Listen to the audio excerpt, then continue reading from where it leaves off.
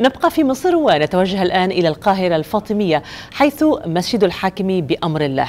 هذا المسجد ورغم أن عمره أكثر من ألف عام ويعد تحفة معمارية وأثرية متميزة فإنه يعاني من الإهمال وتسود باحاته ممارسات لا تليق بقدسية المكان كما يقول مهاب جمال من القاهرة.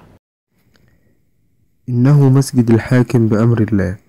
الذي أسس سنة 379 هجريا 989 ميلاديا في عهد العزيز بالله الفاطمي.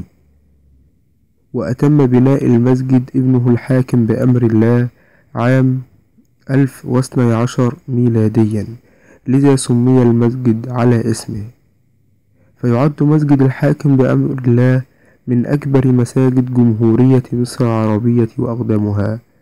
فالمسجد ذو المئة عام عانى كثيرا من الإهمال.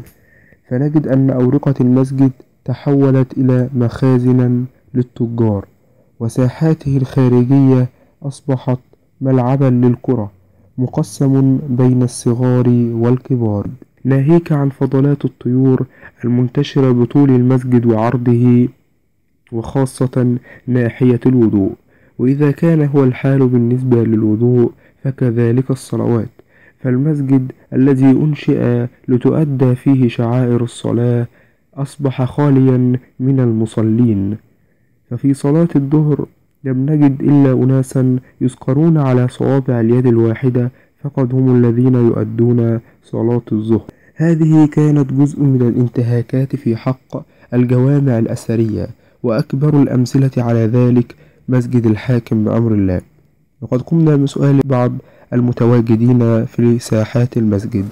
هو بصراحة التجاوزات موجودة كتير جدا في المسجد بس ده بيرجع للإدارة بتاعت المسجد. المسجد لو فيه إدارة كويسة مش هتلاقي التجاوزات دي. يعني حضرتك أنت شايف الشباب نازلة داخلة بتلعب بتجري وكان في شوية معاهم كورة.